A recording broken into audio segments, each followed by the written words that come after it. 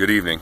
I'm Sergeant Jeff Clark with the Las Vegas Metropolitan Police Department Office of Public Information. I'm here tonight to discuss an officer-involved shooting that occurred this evening in the northeast part of town. At approximately 8.20 p.m. this uh, evening, officers uh, responded to a robbery to a citizen call at a business in the 300 block of North Nellis. In that call, officers were given a plate and a vehicle description of the suspect vehicle.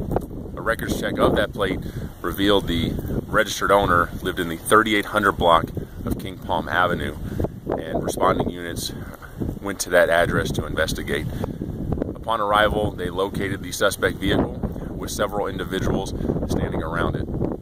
Officers issued verbal commands, and the individuals did comply. Shortly thereafter, a adult male from inside the residence came out with a handgun and immediately began to challenge the officers. The officers gave several verbal commands to drop the weapon, but the male refused and raised his firearm at our officers.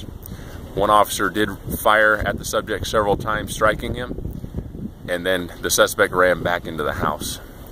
A team of officers formed an entry team to go in to provide medical care to the individual uh, they did provide medical care, and the subject was transported to UMC Trauma, where he succumbed to his injuries.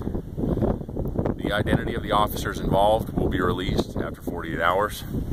The cause and manner of death and the name of the decedent will be released by the Clark County Coroner's Office at a later time.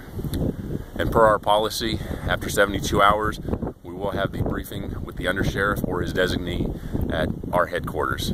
Thank you.